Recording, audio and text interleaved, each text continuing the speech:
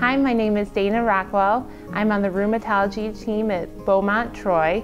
My goal is to listen to what you have to say and then develop a treatment plan that's personalized to you. Thank you for choosing Beaumont.